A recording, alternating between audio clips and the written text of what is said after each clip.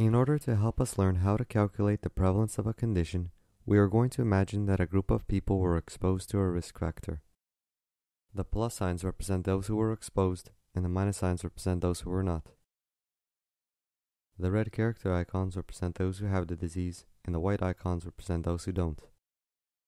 Nine people with the condition were exposed to a risk factor, whereas three with the condition were not. Four people without the condition were exposed, while 12 people without the condition weren't. In total, 12 people had the condition and 16 people did not. We can now calculate the prevalence by dividing the number of people with the condition by the total number of people in the population. So by dividing 12 by 28, we find that the prevalence of the condition in this cohort is 43%.